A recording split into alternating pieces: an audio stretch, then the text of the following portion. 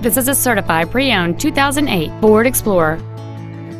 It features a 4.0-liter six-cylinder engine and a five-speed automatic transmission. Its top features include cruise control, full power accessories, external temperature display, four well-positioned speakers, a leather-wrapped steering wheel, a double wishbone independent front suspension, alloy wheels, a low tire pressure indicator, a CD player, and this vehicle has fewer than 36,000 miles on the odometer.